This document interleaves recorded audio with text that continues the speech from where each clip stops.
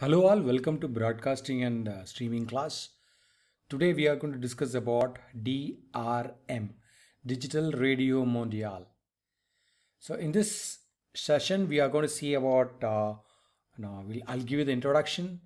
We'll see about uh, audio source encoding, then forward error correction in DRM, modulation method, frame structure, interference on the transmission link, DRM data rates, DRM transmitting stations and DRM receivers. And we'll see about DRM plus. That's the latest technology. So in this session we are going to see all. In 2000 a further digital broadcasting standard called uh, DRM Digital Radio Mondiale was created. The standard is ETS 101980 DRM is intended for the frequency band from 30 kHz to 30 megahertz in which the AM services was not uh, normally transmitted. The broadcasting frequency bands were basically divided in accordance with their propagation characteristics. So what are those? So for example, you take you know uh, long wave LW that is from 30 kilohertz to 3, uh, 300 kilohertz. Medium wave is 300 kilohertz to 3 megahertz. Short wave is 3 megahertz to 30 megahertz. VHF is 30 megahertz to 300 megahertz and UHF ultra high frequency is 300 megahertz to 3 gigahertz. So VHF is split into three bands VHF1, VHF2, VHF3. VHF1 is 47 to 85 megahertz, VHF2 is 87.5 to 108 megahertz, and VHF3 is 174 to 230 megahertz. Again, UHF has uh, got two different uh, frequency bands. Uh, one is UHF4 and UHF5. It's a continuation 1, 2, 3, 4, 5. So UHF 4 band 4 is called uh, 470 to 606 megahertz. In uh, uh, UHF 5 it is 606 to 826 megahertz. So in the in the frequency band below 30 megahertz, very long range reception is sometimes possible, which however is greatly dependent on diurnal or day and light. That's a diurnal, okay? Diurnal, diurnal so nocturnal, right? For the, the animals which will uh, hunt the uh, the prey at night, that is called nocturnal, right? So diurnal is day and night both. So this uh, long range reception is greatly dependent on diurnal variations and on solar activity. The channel between bandwidths specified here are 9 kilohertz and uh, 10 kilohertz region 2. 9 kilohertz and 10 kilohertz. 9 kilohertz at region 1 and region 3, 10 kilohertz at region 2 in uh, you know IT region. DRM is the attempt to replace uh, more and more unused frequency bands in which amplitude modulation has a hitherto been used, it's not been used, with the modern digital transmission methods. The modulation method applied is the same COFDM using MPEG-4 AAC for compressing the audio signals. So what is the net data rate? The net data rates are usually approximately 10 to 20 kilobits per second. The channel bandwidths specified for DRM are derived from the bandwidths normally used in the frequency bands provided. The DRM bandwidths are between 4.5 kHz and 20 kHz. Look at figure number 2. They are defined via the parameter of spectrum occupancy. Table 1 shows the possible bandwidths as in other standards too which define COFDM as a modulation method. Modes are defined here. The DRM modes are designated as robustness mode A, B, C and D. The mode determines the carrier spacing and the symbol duration. The physical parameters of the DRM modes can be seen in table 2 the number of carriers, the number of carriers in a COFDM symbol depends on the mode and on the DRM bandwidth. The number of carriers which can be accommodated in a symbol is listed in table number 3. The figure number 1 shows the block diagram of a DRM modulator. Up to 4 services, audio or data, can be combined to form one DRM multiplex and to be transmitted in the so-called MSC, main service channel. A DRM signal contains the following subchannels. The MSC, that is main service channel, which is uh, 16 QAM and 64 QAM modulation. The second one is the FAC, the fast information channel, that is QPSK. The third one is the SDC, service description channel, QPSK or 16 QAM. The FAC is used for signaling the following information to the receiver. What are those? There are six robustness mode, spectrum occupancy, third one is interleaving depth, fourth one is MSC mode, fifth one is SDC mode, and sixth one is number of services. Look at the SDC. SDC is used for transmitting information such as the protection level of the MSC, stream description, service level, conditional access information, audio coding information, time and date. Audio source encoding. The, the DRM transmits MPEG-4 encoded audio signals, which can be compressed with the, any of the following algorithms. MPEG-4 can be, uh, no, can have three different uh, algorithms. Either it can use MPEG-4 AAC, that is called advanced audio coding, or MPEG-4 CELP speech coding, that is uh, CELP is code excited linear prediction speech coding, or HVXC speech coding, that is harmonic vector excitation coding. So out of these three, it will select any of the algorithms. The forward error correction. See, the forward error correction in DRM is composed of uh, no, three different blocks. One is a energy dispersal block, another one is convolutional encoder, another one is a puncturing block. You can refer the diagram, okay? In DRM, it is possible to choose between equal FEC and unequal FEC. You can select either of. Parts of the audio frame can be error protected to a different degrees by, by this means. Either you can go with equal FEC or unequal FEC. The degree of error protection is determined via the protection level and the protection level can be chosen among four. PL is equal to 0, protection level 0. That's a maximum error protection. Protection level 1, protection level 2, protection level 3 is the lowest error protection. The PL then results in a particular code rate. Let's see about the modulation method. The FAC, that the fast access channel, is permanently QPSK modulated. Look at figure number 3. It is permanently QPSK modulated since it is virtually the first entry point for the DM, DRM receiver. And it must be modulated firmly and very robustly. In the case of the service description channel SDC, it is possible to choose between QPSK and 16 QAM as a modulation method, which is again signaled to the receiver via the FAC. The types of modulation possible in the MSC are either 16 QAM or 64 QAM, which is also signaled to the, to the, to the receiver via the FAC. Apart from the modulated data carriers, which transmit the information of the MSC, FAC and SDC, there are also pilots which are not responsible for any information transport.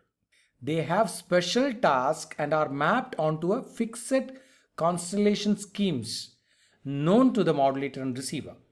These pilots are used for frame, frequency and time synchronization, channel estimation and correction, robustness mode signaling. In DRM, it is possible to choose apart from simple modulation.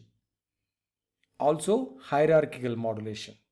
It is possible to choose apart from simple modulation, also hierarchical modulation similar to DVB-T. Different levels of error protection can then be used on the two parts of the hierarchical modulation. Let's see about frame structure. Like other transmission standards such as DVB-T or DAB, DRM2 has a frame structure. Look at figure number 4. It has a frame structure for arranging the COFDM symbols which is organized as follows. A certain number of COFDM symbols NS results in a COFDM transmission frame. And then three transmission frames produce one transmission super frame. An COFDM frame in turn is composed of pilot cells, control cells and data cells. Control cells are FAC and SDC. Data cells are MSC. In this context, cells are understood to be carriers allocated to various uses. Control cells are used for transmitting the FAC and the SDC. Data cells are used for transporting the MSC. The pilot cells are simply the pilots already mentioned. You look at figure number, table number 4. Table number 4 shows how many COFDM symbols make up a transmission frame. At the beginning of the transmission super frame, the so-called SDC block is transmitted in symbol number 0 and 1 in mode A and B and symbol number 0, 1 and 2 in mode C and D. After that, only MSC and FAC cells are transported until the beginning of the next super frame. Look at figure number 4. Look at figure number 4. Pilot carriers or pilot cells are distributed over the entire range of COFDM carriers. Depending on the mode, they are spaced apart by 20 or 6 or 4 or 3 carriers from one another and skip forward by 4, 2 or 1 carrier from the symbol to symbol. Interferences on the transmission link. Look at DRM is uh, operated in a frequency band in which atmospheric disturbances and uh, diurnal fluctuations of the transmission characteristics, ground and sky wave, are particularly pronounced. In the frequency band below 30 MHz, there is mainly also the presence of man-made noise to be considered. According to the standard, the DRM has a bit error ratio of 1 into 10 power 6 in the MSC after the channel decoder with the signal to noise ratio of 14.9 dB with a 64 QAM and a code rate of 0.6. In practice, the fall of the cliff phenomena, also known as brick wall effect, was actually observed with an approximate S by N ratio of 16 dB at a CR of 0.5. With the 16 QAM modulation, this effect occurred with an SNR of about 5 dB. Look at DRM data rates. The DRM data rates depend on the DRM bandwidth, it's a spectrum occupancy, on the mode, on the selected type of modulation, and on the forward error correction. They are between about uh, 5 and 72 kilobits per second the lowest possible data rate. CR is equal to 0.5, 16 QAM, mode B and 4.5 kilohertz. It is 4.8 kilobits per second.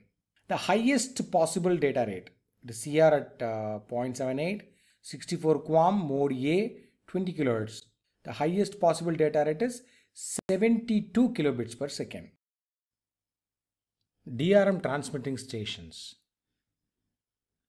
Uh, numerous transmitting stations throughout the world have already been converted from AM to DRM. Relevant information is available from the internet. You can refer that. Apart from software based DRM receivers, compact receivers are also available now. Software based solutions are most cases uh, based on the DRM signal down converted at 12 kHz, which is fed into the line in socket of a PC. A suitable example which can be mentioned is a dream software from the Technical University of Darmstadt. Now look at figure number five. Now DRM transmitting stations, you know, I have given a website uh, link here. You can refer that drm.org. What can I hear? Broadcast schedule 2. Now I given a few sample radios also here. You can uh, refer those. Is for example Chennai, Delhi, Rajkot, Ahmedabad, Ajmer, and Bangalore stations are DRM stations. There are it's a combination. Like a pure DRM stations are present. Simulcast is also present. So for example, you take you know Vividh Bharati Chennai, FM Rainbow Chennai. They're all Chennai based, but pure DRM based. Vividh Bharati Delhi, FM Rainbow Delhi is a Delhi one you know it's a pure DRM. But Rainbow India, which is in from which is from Ahmedabad and uh, Ajmer or simulcast AM plus DRM. FM Gold is is is uh, is by simulcast Bangalore actually. So I have listed out so many you know uh, transmitting stations here in India. You can refer, you can search in internet, you can find out, you can tune, you can listen. Now see the DRM receivers. Now I given a few examples of DRM receivers. You can you can find out. You know, AVN Electronics. AVN Electronics India launched its uh, Indian-made receiver AVDR 1401 very recently. This receiver offers full DRM features, including the emergency warning feature. Another one is a Gospell GR216 Gospell. The Gospell GR216 is a new generation DRM receiver. The GR216 is, is equipped to receive DRM broadcast as well as traditional FM with RDS and AM in medium wave, medium wave band and short wave band. The featuring a high performance DRM or AM or FM tuner. GR216 provides a noise free reception of even the weakest stations. It supports the latest audio compression such as uh, XHEAAC, high efficiency uh, advanced audio coding. It's HEAC and traditional HEAC as well. Extreme high efficiency and high efficiency as well as SBR and parametric stereo. Look at Himalaya DRM 2009. This Himalaya DRM 2009 is a standalone radio and this supports DAB, DRM, AM, FM services. It's a real, real, real portable transceiver or receiver that could be run either by AC or batteries. With the SD card slot, it can also be used as MP3 player. Last one is a Technisat multi radio. Technisat multi radio. It's a this is a analog digital combo radio. This will allow you to receive both conventional analog broadcaster on long, medium, shortwave FM and digital radio with the DRM DAB, DAB band 3 and L band. Now DRM Plus. DRM Plus is an extension of DRM. This is being developed and uh, it is intended for frequencies above 30 MHz. DRM Plus could be a possible alternative to DAB. Like DRM, DRM Plus would work with the latest AAC Plus codecs and this could be used both in VHF band 2 uh, where VHF FM technology is currently employed and it can work in VHF band 1 which is as now is empty right so it can handle both so that's all about DRM